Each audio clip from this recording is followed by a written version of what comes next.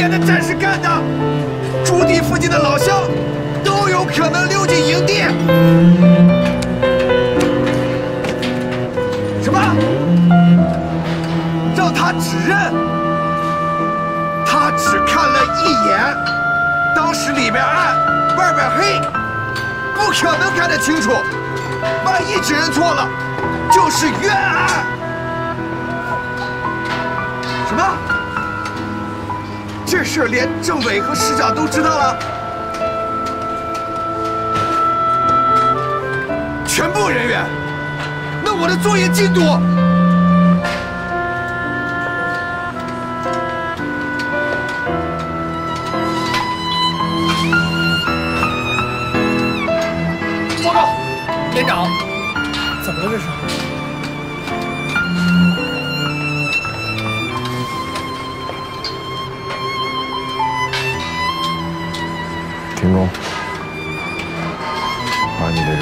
集合起来，带回连部。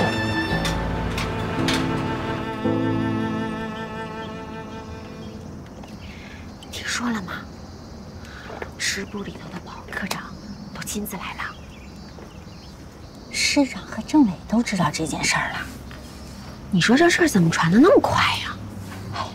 都怪连部那文书多嘴，把这事儿啊告诉他在师部的老乡了。这种事传的最快。其实要是别人，他们也不会这么兴师动众的。这小莫大夫是首长的儿媳妇儿，估计师部里那些什么科长啊、参谋啊、干事啊，肯定都特别紧张。这下可给穆连长的老虎脸给毁了。可是小莫大夫一口一个大白脸的，我看这连部里边没一个脸白的呀。可不嘛，你说这当兵的不个个都是小黑脸？这场腹泻闹的脸又小了一圈儿。哪来的大白脸？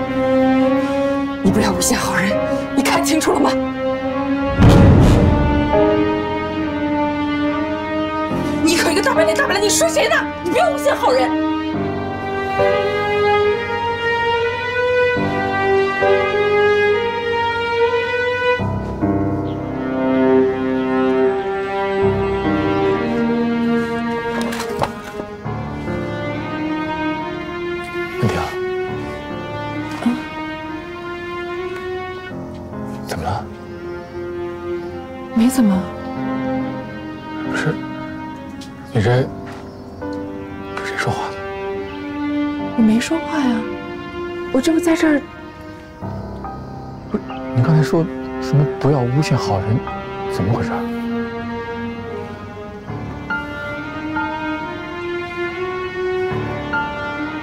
没说话，不是，你告诉我到底怎么了？没怎么呀。咱们两个是同学，你有什么事你瞒不了我。到底怎么回事？没事儿。建云，回去去结婚吧。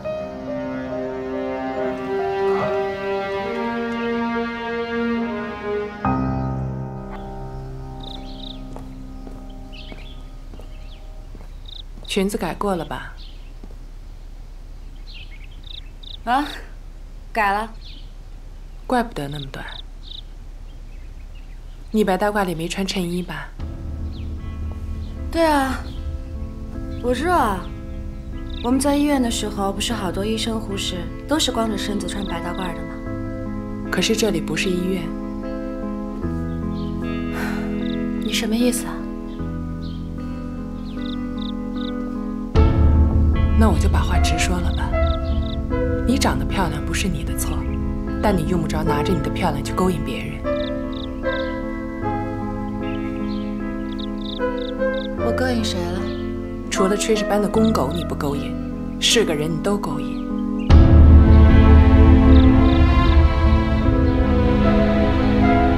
关你屁事儿！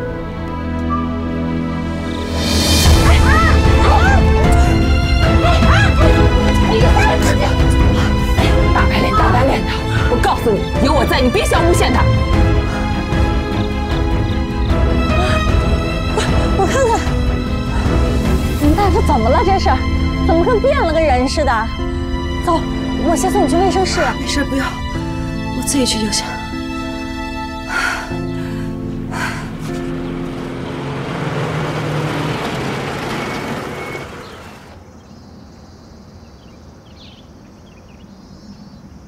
这又能说明什么问题？嗯？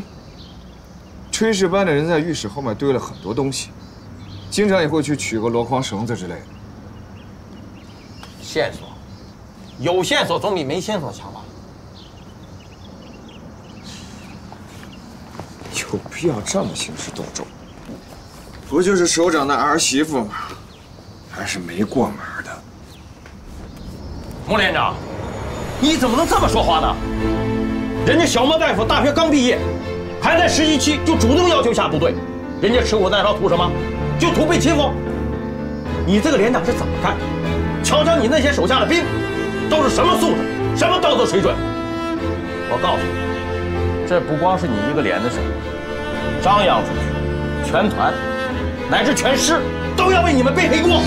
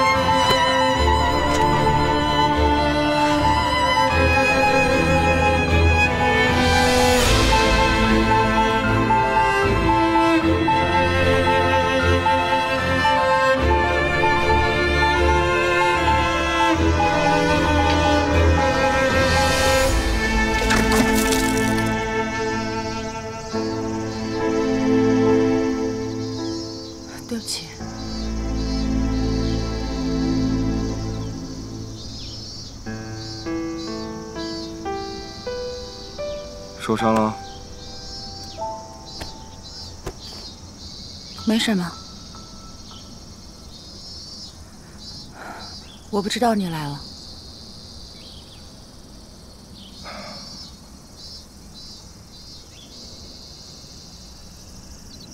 走吧，去哪儿？师部保卫科科长亲自来了，要你去指认嫌疑人呢。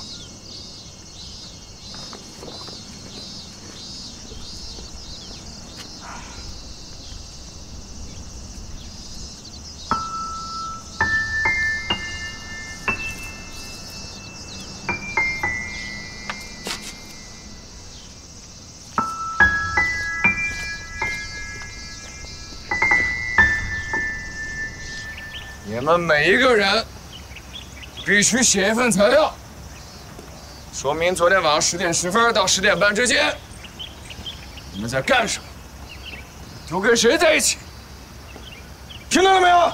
是。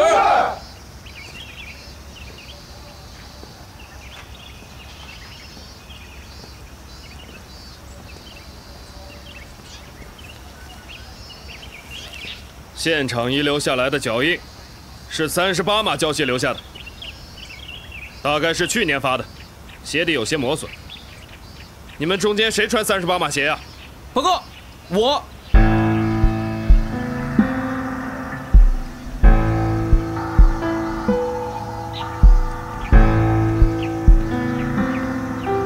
你穿三十八码鞋？是。现在解散。中午之前，把你们鞋的材料交给各班班长。好，解散。向左走，向左走。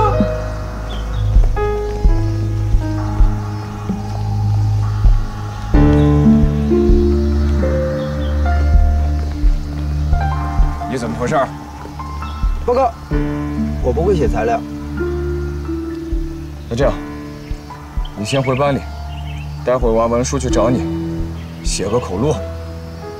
啥叫口录？就是你说他写，明白了吗？是。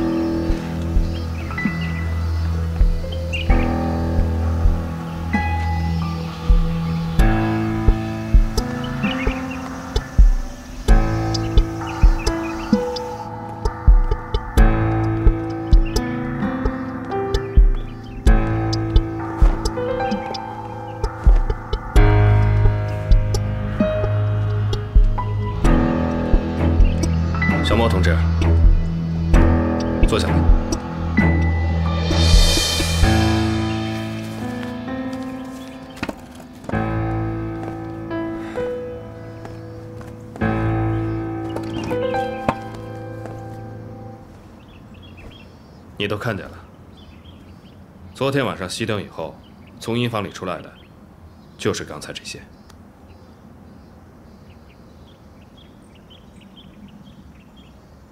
认出来了。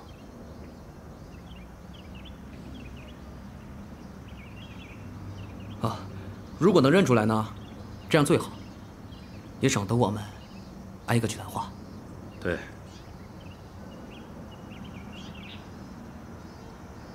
是哪一个？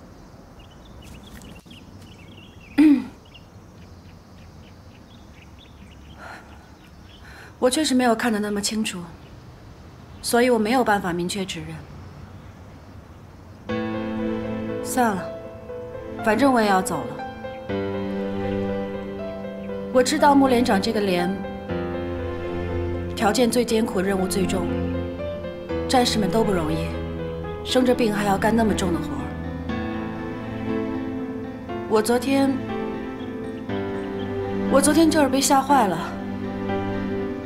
所以没什么大不了的，就不给你们添麻烦了。哎，这可不是小事儿啊，怎么能算了呢？他丢了全师官兵的脸，让所有的官兵给他背黑锅，你算了，我这个保卫科长还不能答应呢。虫子，不声张出去，不就不丢人了吗？这可不行啊！这调查这种事情，那是我们的职责。只要不调查下去，那我们可失职了。再说，这一个医疗小组下面就闹出这样的丑事，这以后医疗小组还敢下来吗？等你回到总部医院，这领导问起来，你要怎么说？还有，你也会去你未来的老公公家。这首长和他家人，万一问起来，你又怎么说？这其实有个混蛋，这保卫科就稀里糊涂的饶了他，这其实就这么个道德水平啊！这又不是什么好事儿，我不会跟首长说的。小莫同志，既然事情已经出了，你就有责任帮我们把这件事查个水落石出啊！对不起，我今天一定要到团部。然后从那里去省矿研所。为什么非要今天走呢？我有非常重要的事情，穆连长知道的，对吧？对，是。你，那这件事也不可能就这么不了了之啊！我撤诉了，能了了吗？你，团部已经派车来接我了。我的东西还没有收拾完，我先走了。哎，哎呀，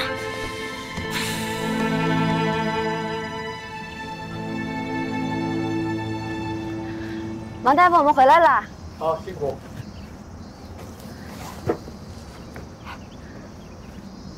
小莫大夫一会儿就走了，咱们去送送他吧。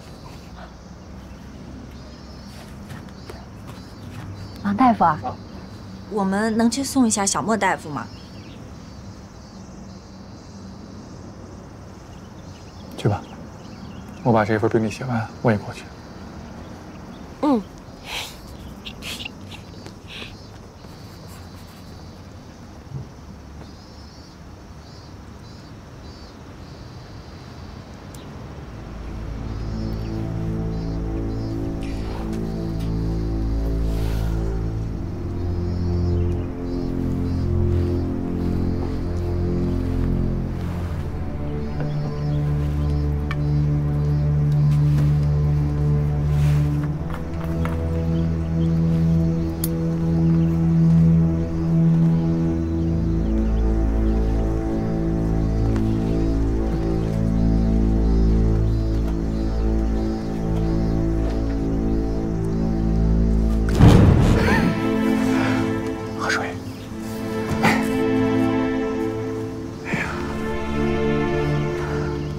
加了点葡萄糖，就算我稍微的加工祭祀一下。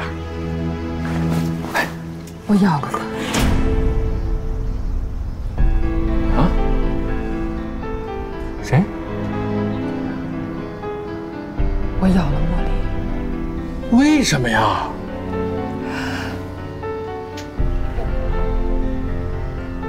我我也不想动粗，我把我自己也吓了一跳，我都不相信那是我做的。不是我也不信。可我也不知道为什么，我的耳边就总听见他在喊“大白脸，大白脸，大白脸”。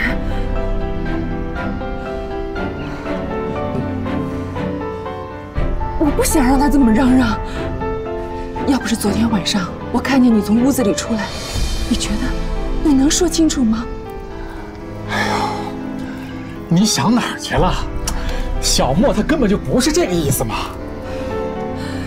真要是查到你头上，你解释不清楚，人家都知道我们俩的关系已经确定两三年了，我就是为你解释，那不就是包庇你吗？你去找他这么一闹，那不是让事情越来越糟了吗？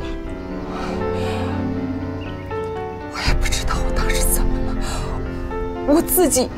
做不了我自己的主，好像有个人跟我说要我去咬他，但不是我咬的，我没有咬他，我我没咬他。哎呦天哪！你完全把我给弄糊涂了。我比你更糊涂。你们都说听见我跟别人说话，我自己真的没有跟任何人说话呀！你说你要跟我结婚，是不是？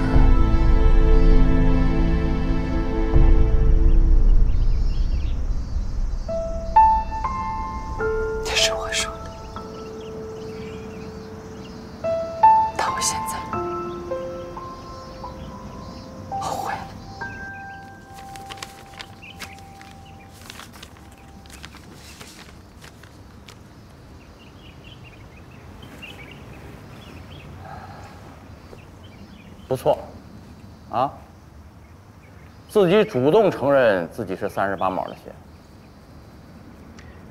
你知道吗？全连百十号人，就你一个人穿三十八码鞋。嗯，不知道。一个男娃长了一个女娃的脚。我小时候家里穷，我老妈不给我做鞋，就让我跟我姐穿一双鞋，所以我脚就长不大了。你少给我胡说！你把我省事了，省大事了。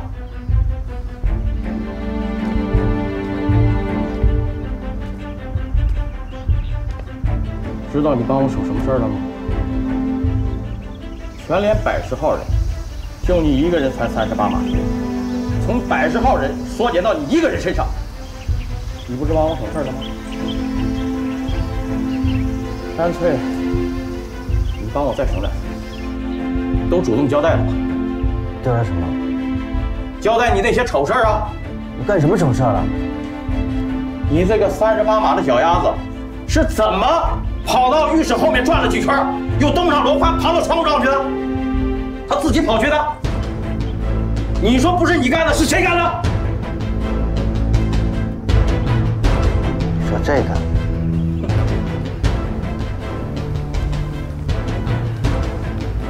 我说哪个呀？您不就是说我听茉莉大夫唱歌的事情？那天晚上他们好几个人一块唱，离远了听，茉莉大夫的声音就听不清楚，所以我就跑到。所以你就昨天晚上登上箩筐，爬到窗户上去偷看，是吗？昨晚我可没去那。你还犟啊？你以为这是在你们村呢？偷看大姑娘小媳妇儿下水沟洗澡，抓住你的大锅？你说什么？你作为领导怎么能这么说话？还给我耗！谁洗澡我也不看。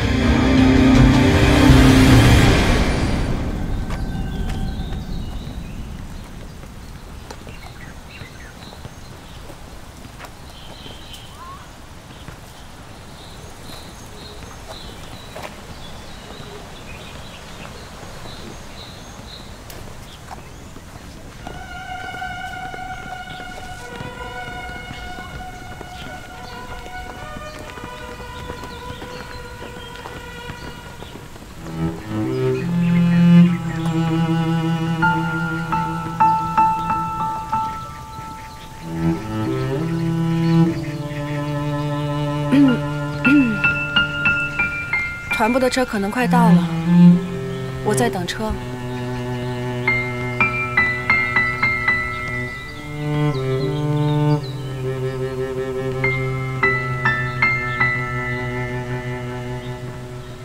我代表全连战士跟你道歉。真的，我们全连的战士干部都觉得特对不起你。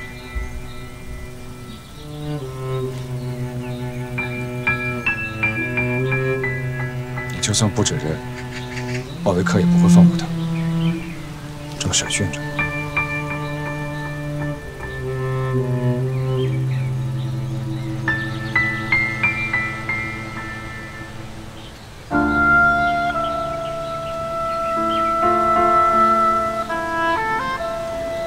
学院的结果一出来，我就寄给你。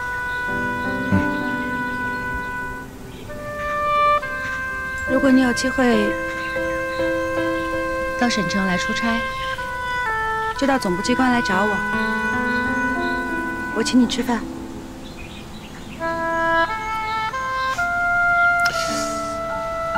像我们这种基层干部，一辈子也没几次到总部机关出差的机会。不出差来玩也行。行，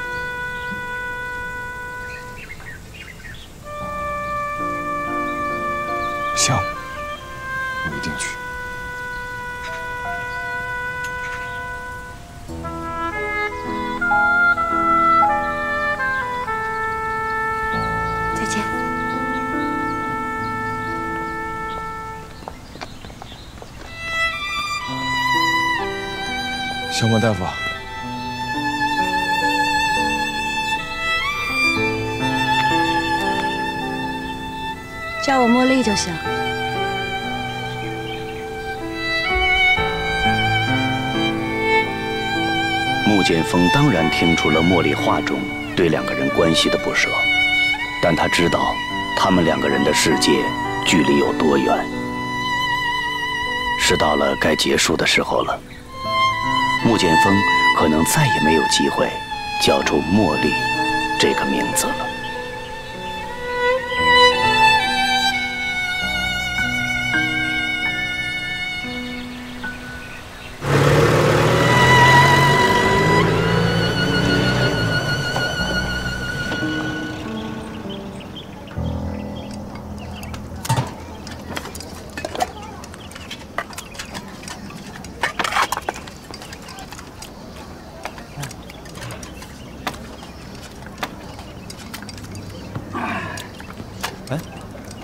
今天怎么不让进去吃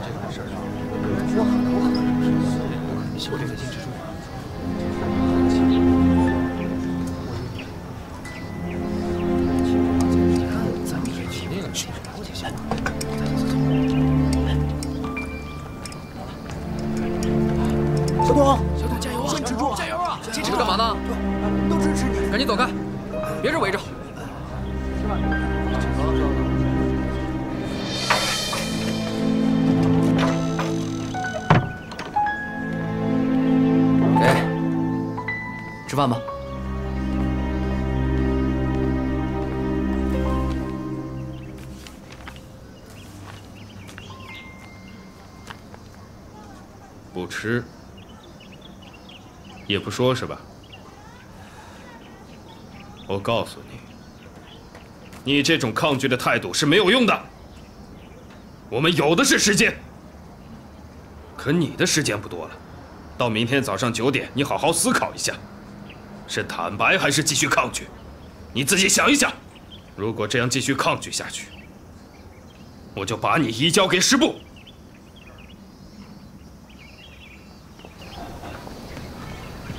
我两个姑姑都有这种病，他们都没救。你有什么病，我不在乎。你不在乎，我在乎。我们将来的孩子会在乎。孩子怎么了？我作为我父亲的孩子，我就在乎。他的家族有这种病，假如事先他跟我商量，我肯定不愿意被他们生出来。谁愿意生出来，就得叫精神病。我们能跟我们将来的孩子商量，问他们愿不愿意做我们的孩子吗？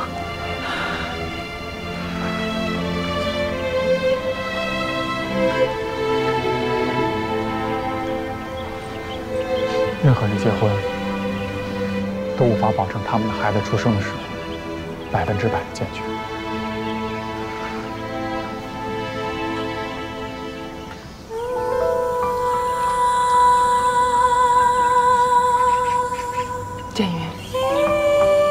知道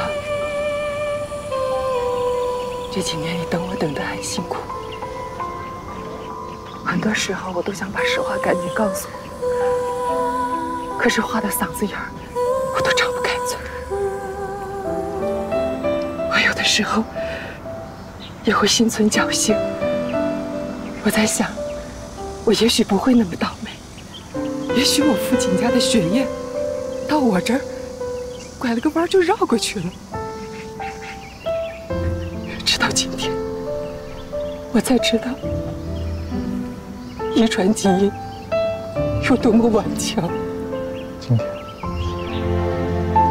你是说你养茉莉的时候，先是一个人跟我说话，跟我吵架，然后一群人乱七八糟的，我你是说幻听？当你身体不好的时候，或者精神太紧张的时候，是会产生幻听的。我两个姑姑都是二十五岁发病的，今年你也二十五岁，所以你对这个岁数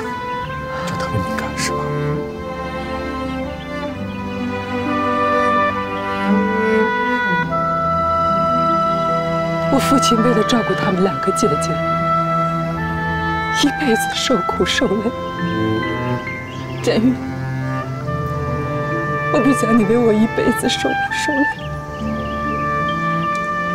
你别再等我了。你是你们家唯一的男孩，我不能断了你们家的后路。跟你结婚的是我，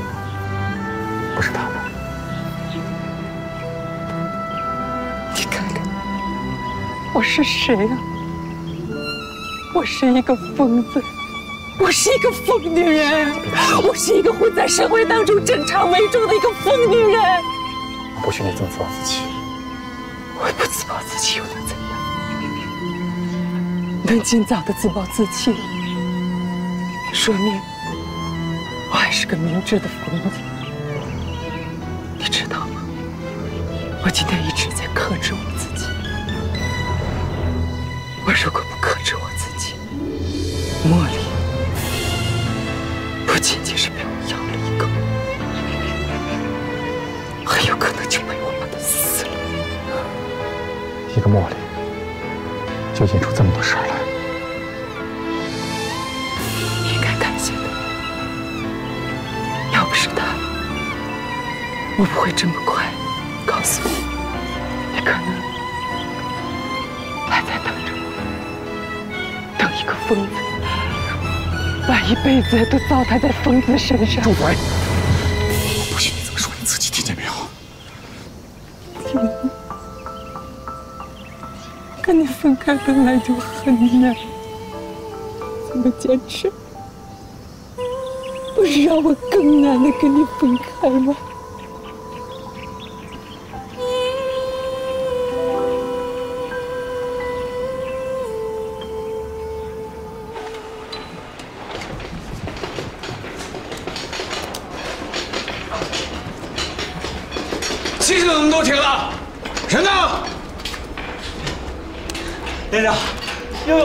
病了，有一些去蹲茅房去了，还有一些去给董向前求情去了。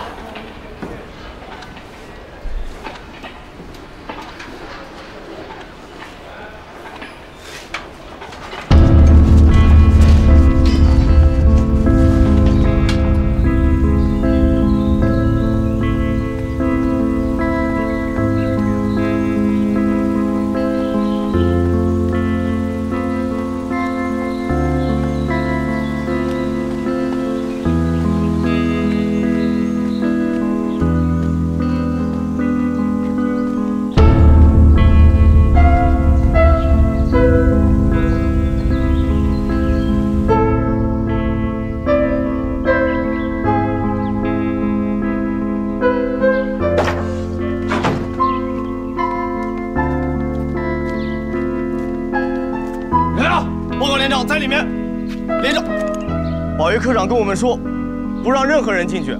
我他妈是任何人吗？科派本来就没剩几个活人了，还在这糟蹋我的劳动力，滚！连长，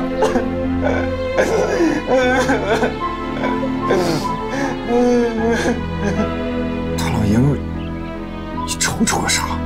连长，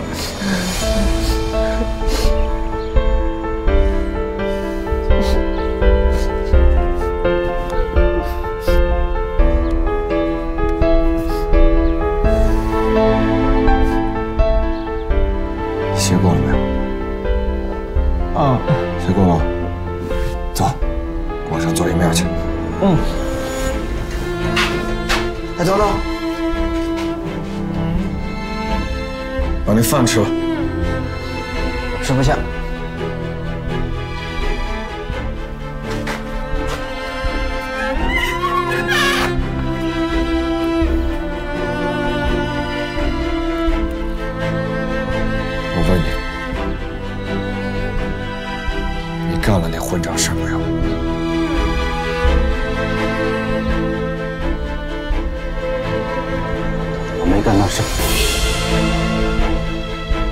你干嘛要罚自己一顿饭？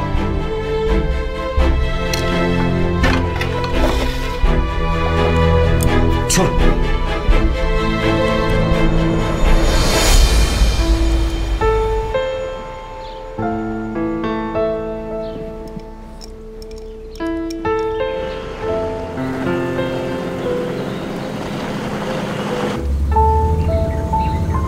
班长能开慢一点吗？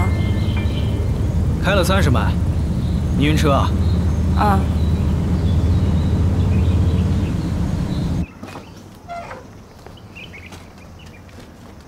走啊！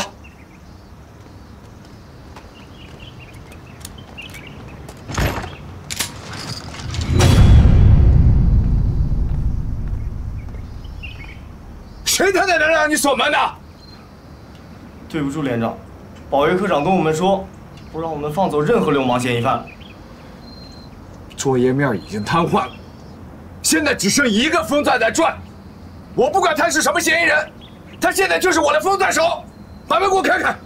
报告连长，我们没有钥匙，要不您自己跟他说去。吃里扒外的东西！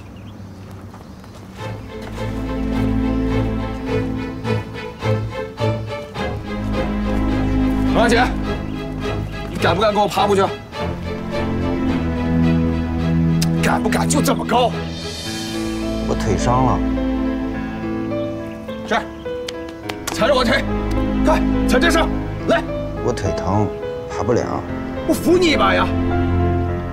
连长，我上回没跟你说实话，我这腿被砸折了，我是从团部医院偷跑回来的。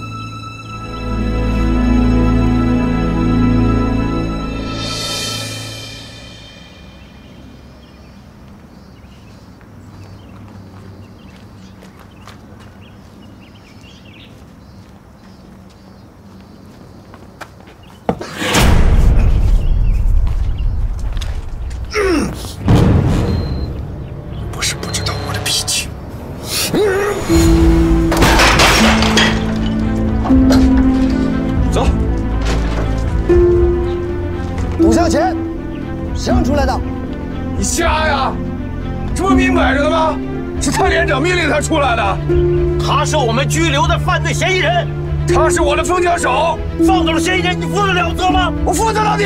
你不能走。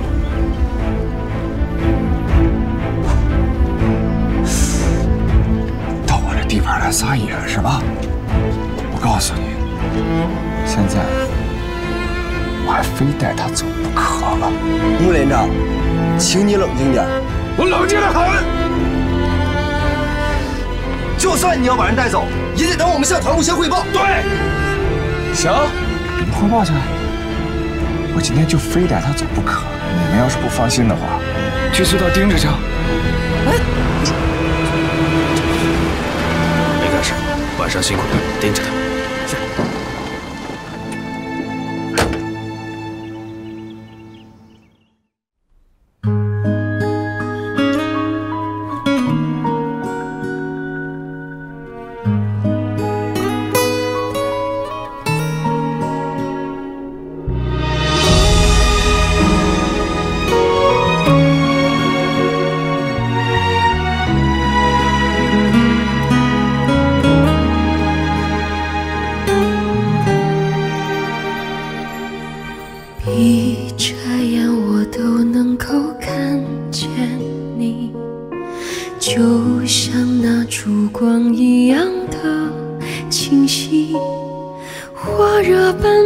传递，那么滚烫有力，每次燃烧都清晰。靠着你，拉着你，紧跟着你。你亲口说，因为你的美丽，我喜极而泣，话语断断续续，不知不觉就一起呼吸。如果爱非要一句承诺，我相信有朵永远盛开的烟火。无论阴差阳错，还是相濡以沫，爱人啊，我多么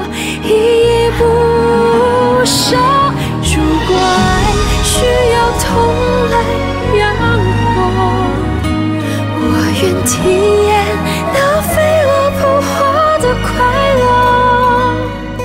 既然萍水相逢，绝不轻易放过。许多年后，请抱着我。